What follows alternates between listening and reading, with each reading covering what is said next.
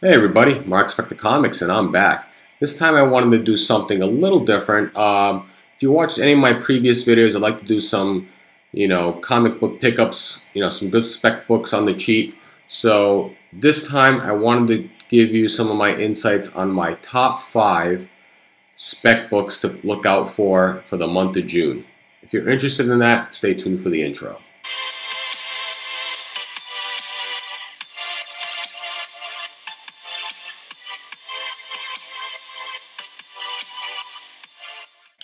All right. So uh, I know a lot of people in in the uh, YouTube community like to watch these videos. Um, they're you know big into the speculation in, in, the investment.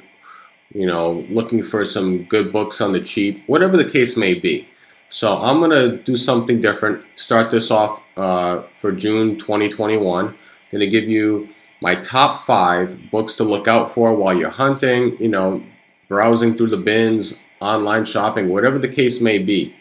Um, these books are going to be all pretty affordable. I'm not going to give you some crazy expensive books. You know, I'm going to keep it to no more than $100. So, and, and the books are not going to be up that high either way. But um, I'm going to give you my top five books to look out for for the near future. Some will be immediate future, some will be next year and so forth. But um, if you're interested in that, I think you'll you'll get a good kick out of this video. So the first book we're going to look into is not an immediate um, spec book, but it's going to be coming out for next year's Moon Knight series, and I figured why not start off with a Moon Knight related book. Um, so this is going to be Werewolf by Night, issue number 10. This book came out, I want to say this is Bronze Age. This came out in October, yep, of 1973. It's a 20 center written by Roy Thomas. Um, you know me, I love collecting Bronze Age. Excuse me, Bronze Age horror. Um, whether it's Marvel, DC, it makes no difference. It's just the eye appeal of these covers. This is a tough cover to get in high grade. It's a black cover. But um, if you're not familiar with this book, it's the first appearance of the committee. So the committee is a secret organization, anonymous, you know, organization of anonymous businessmen and financiers. Their, their purpose is to stimulate what they perceive to be a sinking global economy by any means available to them.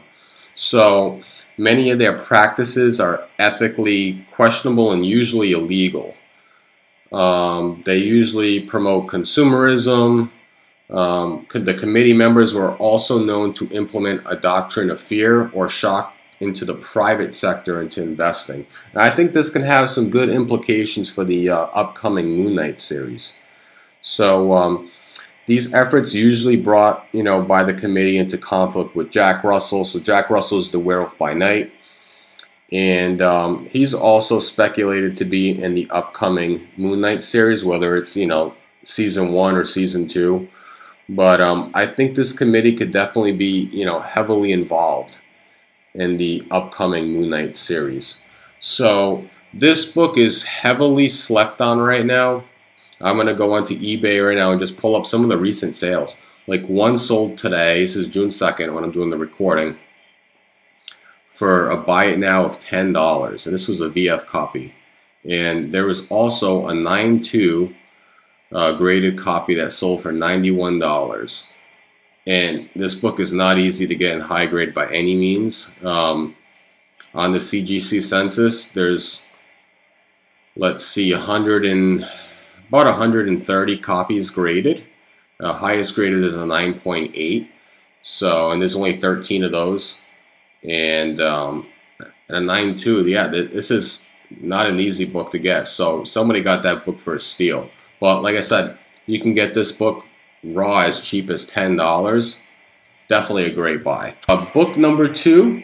This book you're probably already familiar with if you're uh, into um, Spider-Man. And this is Amazing Spider-Man, issue number 365. This is the first appearance of Spider-Man 2099. So um, if you, you watched any of the Into the Spider-Verse series, the first movie, I great, great movie if you haven't already watched it. But um, the character showed up right at the end, like the you know, end of the, the clip of the movie. Not excited. But you could be the first person to make an autonomous multiverse jump. Or the last. Okay, so we're just gonna roll the dice on this? So what do you say, pal? Where do you want to go first? Let's start at the beginning, one last time. out next year, year after, but the movie was highly praised. Uh, did well in the box office, so it's it's definitely gonna be it's definitely gonna come. Um, you can still surprisingly get this book for really really good prices. Um, I'm gonna give you some examples. There was a VF copy that sold today for 32 bucks. This was uh, this was a sale price, and it sold at a 9.8 for 4.95, and that was actually bids. Um, there's also a harder to find newsstand copy. The newsstands are going to be highly sought after. Uh, this book popped. I want to say it was like last month or so, and um, newsstands were I think were selling over a thousand dollars at that time.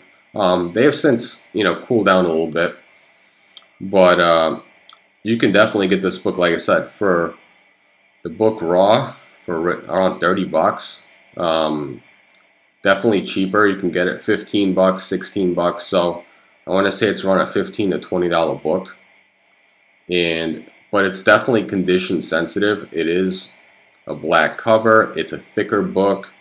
There is that hologram right in the middle. So it is it is tough to get in a really high grade, but uh, definitely a great book to spec on, and it's not going to break the bank at 15 to 20 bucks. So that's book number two. All right, so book number three, and this one is going to be right on the higher end of the cusp when I was saying no more than $100, and um, and this is based off what they're currently selling for on eBay, and this is Marvel Premiere number 10. And if you're not familiar with this, this is going back to my Bronze Age horror. This is first appearance of Shuma-Gorath, and it's also the death of the Ancient One. So, this character, if you're not familiar with this character, there's a lot of rumors and speculations that um, Shuma-Gorath is going to be the main villain in the upcoming Doctor Strange Multiverse of Madness movie. Whether this is true or not is left to be seen. Um, I think that this villain does have the potential to show up as one of the villains in the Multiverse of Madness because it's called the Multiverse of Madness. So we do expect to be lot of multiversal paths that Doctor Strange crosses into. And Shuma-Gorath is one of those archetypal class 3 demons native to the extra dimensional realm. He's also considered one of the old ones who came to Earth uh, I don't know, millions of years ago, ruling it and feasting on mankind's ancestors. So um, he ended up being banished in the past by a sorcerer, Sise-Neg, um, and then returned to Earth and ruled for an age in what would be called the Samaria, um, fed by a blood sacrifice. So this character is extremely powerful, and I think would bring a nice, you know, type of battle that you, you would expect to see with Doctor Strange and his sorcery. Um, it has ties to other, you know, villains like Nightmare, um, Ebera, and and Sluggoth. So um, these are like, th this is like a big, big villain. Uh, I'm gonna put the uh, picture on there for this villain. It, it, it's just a great cover. If you're not familiar with this cover from the uh, Marvel Premiere run, uh, it's cover done by Frank Brunner. But um, sales for this book, you know, people have caught on. I bought this book last year for around 20 $25. And some of the recent sales have gotten quite a bit up there. You know, there was a uh, best offer accepted $90, $100. Um, trying to see what else. $75. So it's going to be condition sensitive, of course. I see a VF copy that sold for 250 so it's going to, I want to see a, a, good price for this book is going to be between 50 to 100 bucks, uh, depending on grade. Mine was probably a VF copy, And this book, because of the cover, it is really hard. I mean, like really hard to get this in high grade, and that's why this book commands the price that it does, graded in a high grade. There's only about 120 of this of these um, Marvel Premiere 10s graded at CGC, with the highest grade surprisingly being a 9.8. And um, if you have a 9.4 or higher this book, congratulations, because this is this is an expensive book. A 9.8 book, if, if one came up for auction now, I'd probably go easily over four grand, just to give you some um, idea of what this book goes for. Uh, I want to say the last graded copy, if I can search for this real quick.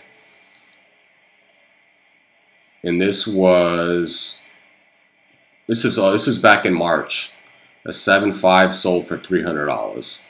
So, I'm talking a few months ago. There hasn't been a graded copy sell since. And there's a reason for that. People are, are saving this book because this book is going to pop next year. I guarantee it. I guarantee it. This is more on the pricey side from what I'd like to give, but look out for this book. That's book number three. All right, book number four. And this is a great spec book because the movie's coming out in September. I think wait, September or November. I think November. But this is Eternals number 11. And then if you're not familiar with this book, it's great cover. This is Jack Kirby. Kirby artwork, Kirby writing. And this is the first appearance of Druig, Kingo Sunen, and Agnar. And why is this book not still hasn't popped is beyond me. Um, there are, you know, three great first appearances on here. Two of them you do see in the teaser. Uh, you see Kingo and you see Druig. And if you're not familiar with Druig, Druig you see in a quick clip towards the end of the um, of the teaser. And I think Marvel's holding this near and dear to the sleeves until they show what the actual character looks like in the villain form. But uh, Druig is supposed to be the actual one of the villains in in the movie. You know, Lord Droog, Druig of Flames. Um, and this book is dirt cheap. It it you know one sold today for twenty dollars. I was like, are you kidding me? Um, a higher this was a better copy. One sold for fifty bucks. So it's selling anywhere from let's see another one for fifty bucks. So I'm gonna say between the two, about 35 to $50 book. Because there's, there's a few bids that sold for around 18 as well. So this book is, is still slept on, even though the movie's coming out later this year. Um, CGC wise, there's only, let's see, 520 of these books graded. Uh, 9 are the highest graded in the in the census with about 110 and the last graded copy was a 9-6 that sold end of May for $185. Wow, that's pretty cheap. Um, I think this book, even at the 50 to you know $60 range, a really really high grade, is still worth buying and grading because if a 9.6 is only selling for 185 now, when we actually see the trailer of the villain, if they do show it, it that, that book is going to be easily a four or five hundred dollar book. So that's number four for Eternals number 11, first appearance of Druig. Basically, it's, it's based off the villain. And then we go down to book number five for June of 2021. And I'm going to do something that recently popped uh, due to some speculation that was brought upon from know, some article or some YouTube channel. I can't remember what exactly that that made it to go pop, but um, I've been speculating on this book for a couple of years now, and I pick this up whenever I can. And this is Ghost Rider number 31, the uh, Rise of the Midnight Suns. This is so if you're not familiar with this, it's a six-part series, and this is oh part six of six. All right, perfect. So, if you're not familiar with this, there was uh, this book recently gained value after that article, and this book was easily a one to five dollar book. You could easily find these in the dollar bins, and once news popped up about the uh, Midnight Suns, this book jumped from like a 10 to, I don't know, as high as $20 book raw. And CGC 9.8s were selling for right around $120. Um, and then Ghost Rider number 28, you're probably more familiar with that book and cover. And that's like the uh, cameo appearance of the Midnight Suns and the first appearance of Lilith. There's a few other ones, Meat Eater or something like that. Or, but um, I'm more targeting issue 31 over 28 because it's still really undervalued and it's the first full appearance of the Midnight Suns. I'm speculating on this book because I really think that the Midnight Suns are coming in Phase 5. They're starting to piece together all of these characters. You got you got Blade. Uh, you got it's just more supernatural. You're getting Moon Knight, Blade. There's talks of Ghost Rider, and any of those characters that you know that come with it. And this book is polybag. They made tons of these. So to see this book, you know, go up in value to what it is now, it's impressive, but it, it's still not to what it's going to be in the next few years if this comes to fruition. Um, there are two versions of this. There's the direct and the newsstand edition. Newsstands are much harder to get for these poly bags, and they're obviously going to command a little bit higher premium. If you do find them, hold on to them. Try to get them graded and uh, get them out of those poly bags if you can, because there is a poster behind it, and I probably could add to the creasing on that book because of the uh, poster. But um, census wise, there's about 500 or so graded of Ghost Rider 28, but in comparison to 31, there's less than 100. So that gives you an idea that this one has a lot more room to grow because there isn't a lot of these graded. So there's it's like supply and demand. So um, harder. They're both hard books to get in high grade just because of the colors in there. You both got uh, black black covers, a lot of colors in there, so it's easy to get the spine ticks. So look out for Ghost Rider 31. That's your pick number five. And that's my top five picks for uh, June of 2021. So if you like that, please hit a thumbs up. If you want to see some more of this, write in the comments down below what you'd like to see. I'll definitely do one for July because this is this is the fun stuff I like to do. I like to speculate, talk about fun books. I like helping out the community. If, if that's what you're into, let me know. Um, so until next time, Marc Spector Comics. Out.